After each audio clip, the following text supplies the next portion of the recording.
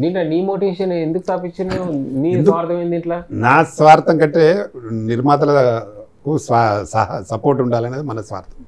విషయం ఏంటంటే ఇక్కడ చాలా మందికి సినిమాలు చేస్తారు కానీ వాళ్ళకు సరైన థియేటర్లు. ఆ, పర్ఫెక్ట్గా రిలీజ్ టైమింగ్ ఉండదు. థియేటర్లు అందరూ లీజు ఇప్పుడు నేను నైంటీ టూలో స్టార్ట్ అయినా. టూ థౌజండ్ వన్ వరకు కూడా మనకు పర్సంటేజ్ విధానం ఉండింది. నో లీజ్ ఇప్పుడు ఇవాళ మా నిన్నటి నుంచే మళ్ళీ బంద్ పెట్టారు ఒక. పది రోజులు అంటే వాళ్ళు కూడా వాళ్ళ వాళ్ళు కూడా వీళ్ళ బాధితులే. ఈ ఎవరైతే లీజ్ ఉంటుందో ఆ, ఆ సోకాల్ ప్రొడ్యూసర్ వాళ్ళే నిర్మాతలు వాళ్ళే డిస్ట్రిబ్యూటర్లు వాళ్ళే ఎగ్జిబ్యూటర్లు ఉమ్. ఇంకోరికి వాళ్ళ ఇయ్యరు. వాళ్ళ ఇంట్లోనే హీరోలు కూడా ఉన్నారు కొందరు. వాళ్ళు వీళ్ళకి సినిమాలు ఇయ్యరు. కష్టం అట్లా అది మనం దాన్ని మొదటి నుంచి ఫైట్ చేస్తున్నాను. ఇప్పుడు దీని దీని ద్వారా కూడా ఏంటంటే మనం నిర్మాతలకు సపోర్ట్గా థియేటర్లు ఇప్పించడం కానీ.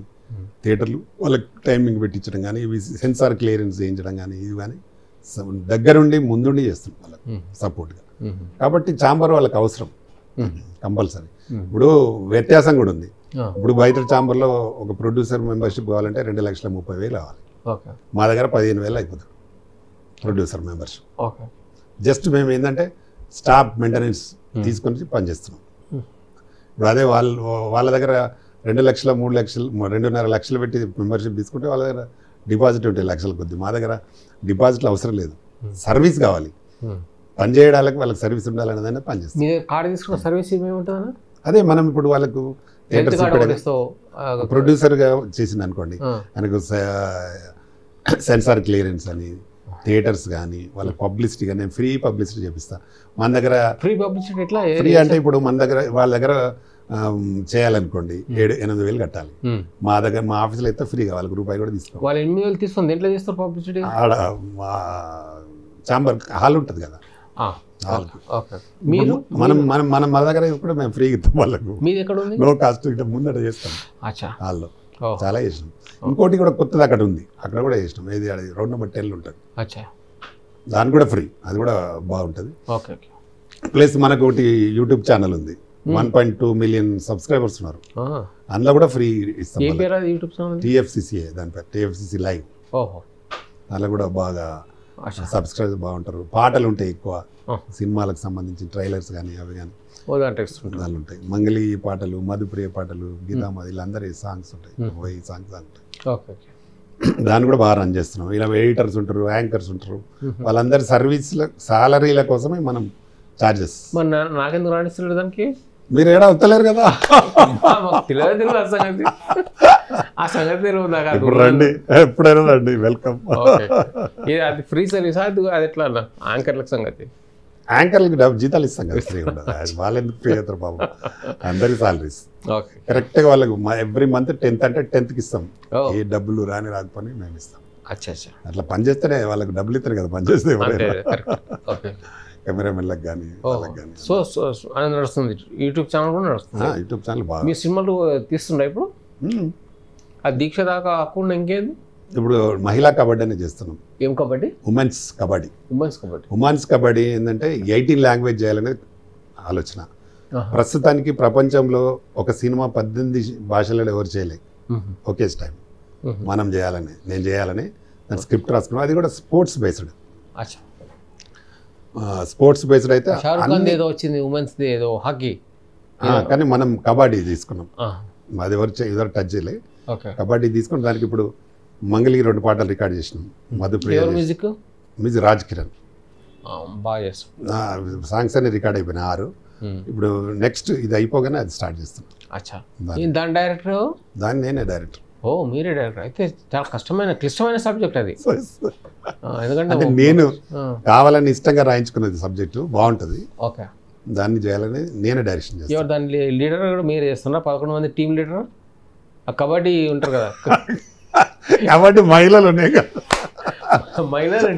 మహిళలకు టీం కోచ్లు ఉన్నారు కదా. చాలా మంది యాక్టర్లు ఉన్నారు సుమన్ చాలా మంది ఉన్నారు మీరు కూడా ఉన్నారు అందులో. నేను లే కోచ్ అదే ఓన్లీ డైరెక్షన్ ఓన్లీ డైరెక్షన్ ఆర్టిస్ట్గా లేను. సూపర్ డైరెక్షన్ ఇంకా చాలా మంది ఆర్టిస్టులు సుమర్ ఉన్న సుమన్ గారు పెట్టుకుంటున్నాం.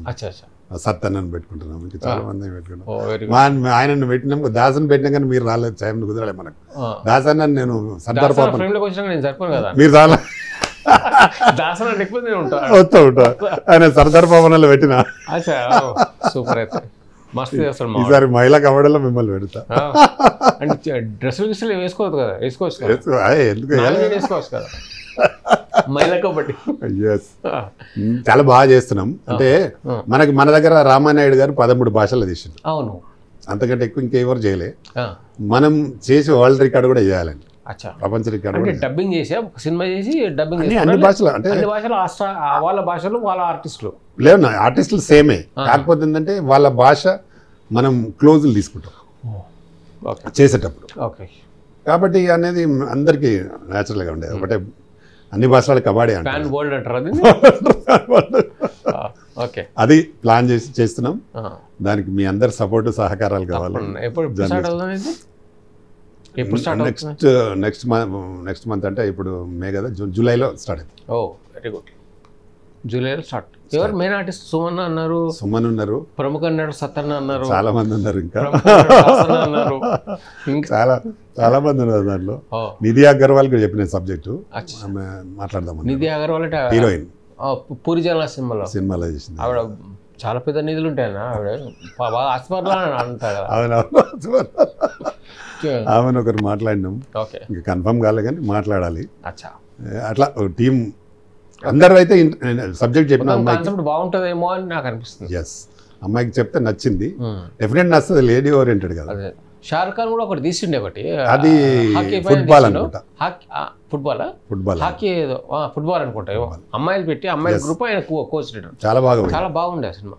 సో అట్లాగే మీది కూడా బాగుండాలని కోరిక నాది. బాగా చేయాలి. థ్యాంక్ యూ డెఫినెట్గా తప్పకుండా.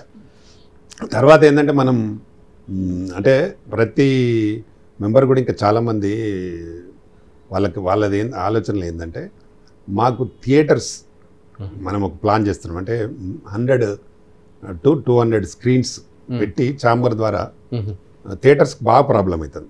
అంటే మినీ థియేటర్ మల్టీప్లెక్స్ లాగా కట్టాలని డిసిషన్ తీసుకున్న మినీ మల్టీప్లెక్స్ అంటే వంద నుంచి రెండు వందల స్క్రీన్స్ చైర్స్ ఉంటాయి. ఓహో ఓహో. ఆ, ప్రతి సెంటర్లో ఒకటి. అట్లా ఇప్పుడు దాదాపు ఇరవై ఐదో ముప్పై అగ్రిమెంట్లు చేసినాం ఆల్రెడీ. అంటే తెలంగాణ మళ్ళీ కొత్తగా? కొత్త కడుతున్నాం. అంటే ఇప్పుడు అందరూ మల్టీప్లెక్స్కి అలవాడారు అవును. ఆ సింగిల్ స్క్రీన్స్ అంటే చాలా మంది రావడం లేదు. ఇప్పుడు దానికి దీనికి చాలా డిఫరెన్స్ ఉంటుంది కదా. దీనిలో సౌండ్స్ కానీ. ఏసీ కానీ చాలా బాగుంటుంది కదా. డిఫరెన్స్ ఉందని మనమే అంటే ఎక్కువ సీట్లు పెట్టకుండా వంద నుంచి రెండు వందలు ఆ ఏరియాని బట్టి. అట్లా మనం డెవలప్మెంట్ మీద కొంత ఒక ఇరవై ఐదు దాకా వచ్చినాయి ఇప్పటికి. అట్లా వంద స్క్రీన్లు హైదరాబాద్ ఇక్కడ తెలంగాణలో కట్టాలి వంద ఆంధ్రాలో కట్టాలి. రెండు వందల స్క్రీన్లు చాంబర్ నుంచి కట్టాలి ప్రతి సినిమా దాని ద్వారా చేయాలి. ఇది ఒక వన్ ఇయర్ లోపల అయిపోతుంది వన్ వన్ అండ్ ఇయర్లో కంపల్సరీ అవుతుందని నేను అనుకుంటున్నా. చాలా సీరియస్గా ప్రయత్నం చేస్తున్నాం. ఓకే. అవుతుందనే నమ్మకం ఉంది. చాలా మంది కూడా ముందుకు వస్తున్నారు అయితే కూడా మంచిది చిన్న సినిమా నిర్మాతలకి చాలా. ఇప్పుడు చిన్నది పెద్దది కూడా రావచ్చు చిన్నదైతే హండ్రెడ్ పర్సెంట్. అదే. ఇప్పుడు రెండు వందల థియేటర్లలో ఉన్నాయనుకోండి మనకు ఒక్కసారి ఐదు నాలుగు ఐదు ఆరు సినిమాలు కూడా రిలీజ్ చేయొచ్చు. ఏం ఇబ్బంది ఉండదు. అంతే అవును. వాళ్ళకు స్క్రీన్లో వంద వంద యాభై అంటే ఈజీ కదా రావడం అనేది ఈజీ ఉంటుంది. ఒక భరోసా ఉంటుంది. అరే మేము రెండు. కోట్లు పెట్టి సినిమా తీసాం ఒకడు ఒక థియేటర్ మాకు ఇస్తున్నాడు ఒకడు. వస్తున్నాడు. ఇది మీకు ఎవరికి చెప్పాలి? బయట మీకే చెప్తున్నా ఫస్ట్ ఇంటర్వ్యూలో మొన్ననే ఫైల్ అయింది అన్నట్టు ఇదంతా. మనం చాంబర్ నుంచి కట్టాలని డిసైడ్ చేసుకున్నాం. ఆ, చాంబర్ అయితే మనకి ఏంటంటే గవర్నమెంట్ నుంచి కూడా ఈజీ ఉంటుంది. మనం ఎఫ్డిసి ద్వారా కూడా సపోర్ట్ తీసుకొని చేయొచ్చు అన్నట్టు. దానికి ఆల్రెడీ పర్మిషన్ కూడా పెట్టినాం. సింగిల్ స్క్రీన్కి ఏంటంటే చిన్న మన చిన్న మల్టీప్లెక్స్కి ఏంటంటే పెద్ద పర్మిషన్స్ అవసరం లేదు ఎన్ని గజాలు ఉంటుంది దాదాపు ఒక టూ థౌజండ్ యాడ్స్ ఉంటే కట్టేయచ్చు. ఇంకొంచెం తక్కువ కట్టదు. టూ థౌజండ్ మంచి స్పేస్ ఉంటుంది. వంద యాభై మంది స్టూడెంట్ వంద వంద నుంచి రెండు వందల మంది వరకు ఓ. కట్టచ్చు. కింద మనకు కమర్షియల్ కూడా యూజ్ చేసుకోవచ్చు. షాప్స్ కానీ అవి కానీ అంటే బర్డన్ ఉండదు అన్నట్టు అది ఉంటే కూడా మంచిదే. బర్డన్ ఉండకుండా ఉంటుంది. ఎవరికైనా బర్డన్ ఉండదు. రెంట్స్ వస్తాయి కాబట్టి దానికి దీనికి. ఈజీ గోయింగ్ కోసం ఈ ప్లాన్ చేస్తాం ఇది ఒట్టి డైలాగ్ చెప్తారా మీరు వన్ ఇయర్ లోపు అవుతుంది నిజంగా మాట అవుతుంది అది? హండ్రెడ్ పర్సెంట్ అవుతుంది. ఆల్రెడీ అగ్రిమెంట్లు చేసినాం చాలా ల్యాండ్స్ అచ్చా.